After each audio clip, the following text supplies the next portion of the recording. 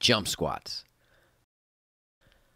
Lower yourself into the bottom position of the squat, making sure to keep your chest up and your lower back flat. Jump up and explode through the balls of your feet, fully extending into the air before softly landing back into your squat stance. Repeat this motion. The jump squat is an explosive lower body exercise that targets the glutes, hamstrings, and quads. Hey, did you enjoy that video? If so, make sure you like and share, and don't forget to subscribe.